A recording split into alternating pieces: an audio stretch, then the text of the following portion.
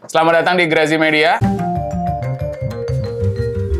Kenalin gue Fuad dan Gua- ini ada Gue Reza. nah teman gue di sini. Selamat datang juga ini ada sub konten baru nih namanya Pojok Grazi ini kita mulai Pojok ya, pod- Pojok pod- ya. pojok. P O D J O K. Iya. Pakai E nggak? Ah, enggak. Nggak perlu. Nggak Joke, perlu. terlalu joke. Selalu jokes joke, ya. terlalu joke. Karena kita tidak bermain-main. Iya, karena kita serius. Karena kita membahasnya dengan serius. Serius sekali berbobot ya, berbobot. luar biasa. Terus De- dengan bukan cangkangnya aja, tapi Iya. dengan biji-bijinya. Nggak, ini kita banyak oke. bacot. Lanjut, lanjut, lanjut. Oke, Lanjut. gini ya. Mau ngomongin apa nih? Jadi kemarin lu kayak ada keresahan-keresahan. Ya, gini ya. Hari-hari belakangan ini karena nggak Belakangan ini gue lagi rame. Kita banyak terlalu banyak terima berita nih. Banyak banget lah di akhir Hmm. minggu ini, di akhir bulan ini. Tapi berita yang menarik gue pengen bahas ini kali ini datangnya dari eh, pemain band. Pemain band atau- solo?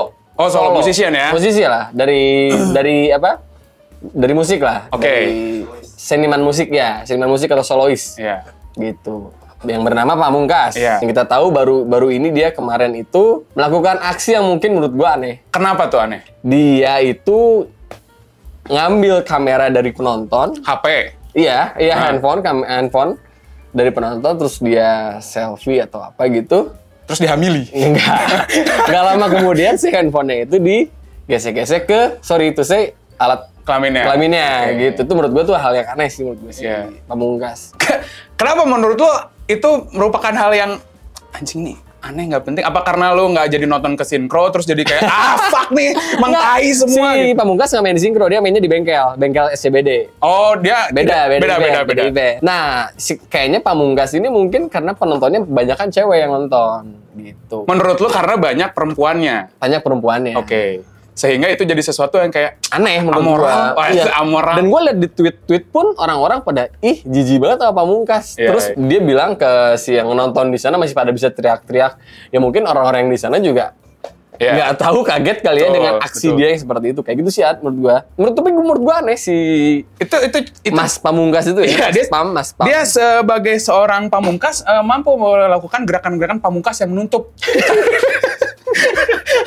Gerakan-gerakan pamungkas itu sangat sangat pamungkas itu luar biasa ya memang. Bisa mem- memangkas itu. Iya memangkas. Memangkas. Memangkas itu. Memangkas Tapi jam menurut terbangnya tapi menurut gua itu bukan hal yang ya aneh lah, emang Hmm. aneh. Nggak tahu ya kalau di musisi atau di circle musik Indonesia mungkin Iya. itu hal yang berani gitu. Tapi Betul. lo pernah nggak tahu bahwa di beberapa apa ada beberapa stage act lain yang ada di luar misalkan Hmm. atau internal yang bis atau pernah melakukan itu tapi lebih bangsat dari itu. Menurut gue gini. Ini karena Pamungkas pelakunya. Oke. Kalau pelakunya ini mungkin kita bisa bilang Ozzy Osbourne. Nah, Dia makan kelelawar atau Betul, di atas betul, panggung. betul, Itu betul. tidak masalah. betul. Di siapa? Eh, kita bisa bilang kalau Indonesia bisa bilang Koil.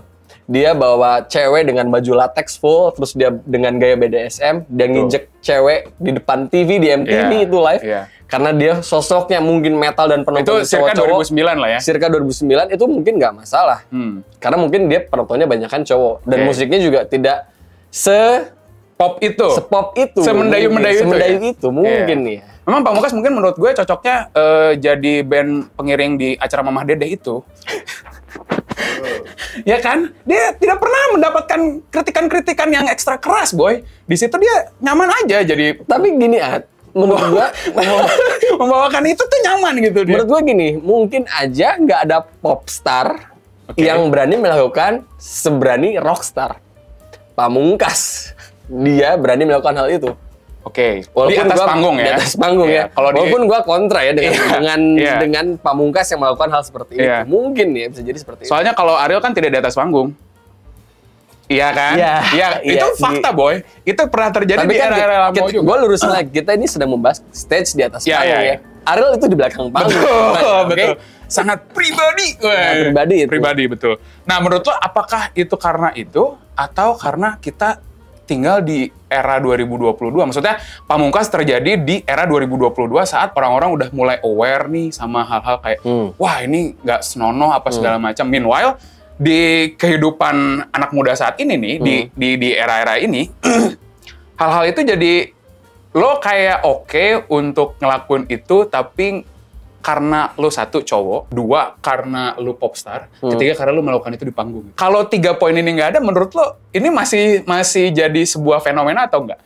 Atau let's say nggak usah di atas panggung deh, eh nggak- eh, poin di atas panggungnya tetap di atas panggung, tapi karena lu cowok, ada penonton lu cewek. Nah, apakah ada elemen dari itu? Kalau menurut gue mungkin ada sih. Kalau menurut gue mungkin gini, karena mungkin kita udah di era informasi tuh mudah didapat dan mudah diterima. Hmm. Jadi apa pun yang terjadi hari itu pun bisa kita lihat di hari yang sama. Hmm. Throwback mungkin kita bisa bilang di tahun 2000-an. Iya. Terjadi seperti hal halnya Pamungkas. Iya. Yang mungkin tidak terekam dan mungkin direkam bahkan mungkin bisa publishnya mungkin bisa sehari atau dua hari atau seminggu kemudian baru publish. Betul. Baru word of mouth mungkin tidak jadi masalah sebesar ini. Dan itu bisa jadi kayak gosip-gosip underground gitu. Gosip-gosip Iya, underground. betul, betul, betul. Anjing, si Pamungkas nih gesek-gesek ini. Soalnya itu yang terjadi di Otong Coil saat 2009 itu. ya. Iya, betul. Kita harus susah cari footage ya tuh. Iya, nanti kan kita, kita bisa tampilin bahwa yeah. bisa seberani itu. Hmm. Cuman mungkin kalau kalau gue balik lagi karena mungkin genre, genrenya dia pop dan penontonnya cewek, jadi menurut gue nih agak aneh. Gitu. Jadi kalau menurut lo, kalau genrenya katakanlah bukan pop deh, Hmm. misalkan let's say punk gitu ya, Pang, ya punk, tapi penonton perempuannya juga banyak karena banyak yang menikmati eh, musik-musik keras gitu Hmm. yang dulunya kita anggap itu sangat maskulin, tapi ternyata ya penonton perempuan atau penikmat perempuannya banyak gitu. Apa menurut lo itu nggak nggak akan, ya udahlah ini nggak akan nggak akan jadi masalah. Batu kayak Dustin, batu kayak Dustin. Mau minum dulu. jadi gimana gimana gimana? Ulangan. kalau misalkan ini bukan genre pop, Hmm. terus misalkan let's say punk gitu ya atau mungkin metal keras lainnya lah. Hmm.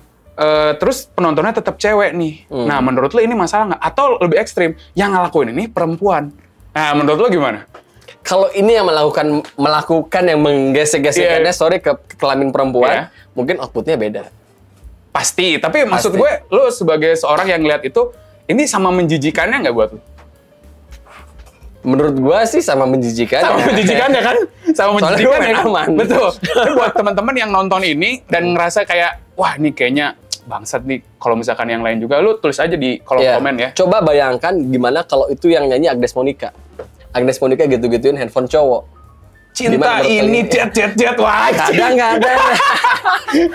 coba kalian bayangkan. Ya, coba bayangin aja. Terus eh, tulis di kolom komentar, menurut lo eh, apakah itu sama menjijikannya dengan Pamungkas, pamungkas melakukan hal yang itu, hal yang melakukan sama? gerakan pamungkas untuk sedikit menutup karirnya atau enggak gitu? Mungkin coba dicek. Hmm. Ngobrol lah sama teman-teman Iya, perempuan kalian Coba juga.